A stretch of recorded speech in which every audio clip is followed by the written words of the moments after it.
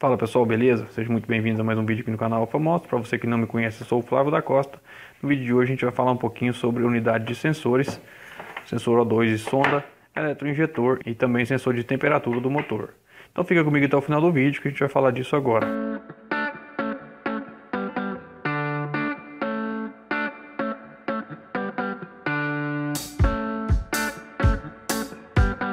Bom pessoal, eu estou aqui hoje com a unidade de sensores, ela é conhecida como unidade de sensor ou sensor híbrido, porque ela abriga três tipos diferentes de sensor. Sensor de é, abertura de borboleta, sensor de temperatura do ar e sensor de pressão do coletor de admissão. A gente vai falar sobre cada um deles hoje. Esse, essa unidade de sensores, pessoal, é localizada no, no corpo de injeção, tá? Algumas motocicletas possuem esses sensores aqui separados, então não são todos os modelos que têm essa unidade híbrida. Alguns têm apenas o TPS, que vai localizado no corpo de, de injeção ou no corpo de borboleta. Outros têm apenas o TPS e o sensor de pressão do coletor. E o sensor de temperatura do ar admitido, ele vai fora, ou seja, ele pode ir na caixa do filtro de ar, ele pode ir em alguma outra localização da motocicleta. O que, que faz cada um deles? O sensor de TPS ou sensor de posição da borboleta do acelerador é esse central aqui, ó, de acordo com que a gente acelera a motocicleta, ele vai girando. Vocês podem ver aqui. E, e isso vai criar um campo eletromagnético aqui em volta, que vai criar uma resistência que vai informar a central de injeção a posição de ângulo de abertura da borboleta, ou seja, a quantidade que a gente acelerou. Aqui do lado a gente tem o sensor de temperatura do ar, que é esse comprido, é ele que indica para a central a temperatura do ar que está sendo admitido para dentro do motor. E através disso aqui, posição de acelerador, temperatura do ar e outras informações de outros sensores, a unidade consegue calcular então é, a quantidade correta de combustível que ela deve enviar para o eletroinjetor ou para o bico, como muita gente conhece, que é esse outro camarada aqui.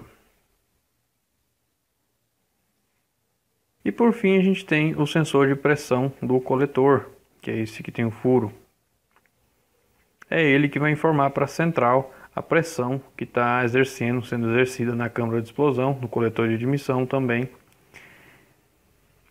E através dessa pressão, da temperatura e do ângulo de abertura, a unidade calcula, consegue entender é, a quantidade que está sendo admitida de ar para dentro do, do, cabeçote da motocicleta, para dentro do cilindro, e consegue então é, fazer a mistura correta para o motor funcionar adequadamente. Aqui a gente tem o conector dessa unidade de sensores, então aqui tem o sistema de alimentação dos sensores, e do lado a gente tem o conector de saída do sinal desses sensores, ou seja, ele pega a posição, a temperatura e a pressão envia um sinal para a unidade, ela vai converter esse sinal em dados e vai mandar para os atuadores, no caso o bico de injeção, bobina de ignição, bomba de injeção, é, atuador de marcha lenta ou afogador eletrônico, como muita gente conhece, e através disso a unidade de injeção consegue calcular é, a mistura correta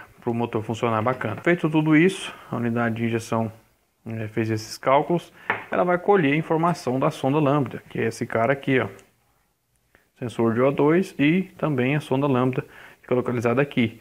Ela é responsável por dizer para a central se a mistura de ar combustível está correta ou não. Ela analisa os gases que estão saindo pelo escapamento, envia esses dados para a central, essas informações para a central, e então através disso aí ela sabe se precisa injetar mais combustível ou não, para a mistura ficar rica ou ficar pobre, mistura pobre, quando tem mais ar que gasolina, por exemplo, ou seja lá o combustível que for, e mistura rica quando tem mais combustível que oxigênio. Mistura está um pouquinho acima. Tudo isso, pessoal, a motocicleta vai levar em conta a temperatura, tá? Temperatura do ar ambiente, temperatura do motor. Temperatura do motor ela é captada por esse outro sensor aqui, ó. Vai localizado geralmente no cabeçote, que é a parte que mais esquenta na motocicleta. E através desses dados, então informados por esses sensores, a motocicleta consegue fazer o mapeamento correto de tudo que está acontecendo para a motocicleta funcionar perfeitamente. E se você não adquiriu o nosso curso ainda, Oficina de Excelência, o link está aqui na descrição do vídeo, primeiro link aqui da descrição. Para saber um pouco mais, basta você acessar esse link aí. Lembrando também 30 dias de garantia a partir da aquisição, seja qual for o motivo você não quiser mais, pode pedir o seu reembolso que a gente devolve o seu investimento numa boa, beleza? O curso é para quem quer montar o seu próprio negócio no segmento de oficina. Eu te passo várias dicas que você tem que saber para montar o seu negócio e também manter ele funcionando depois, beleza? Então é isso, um grande abraço e eu te aguardo no próximo vídeo.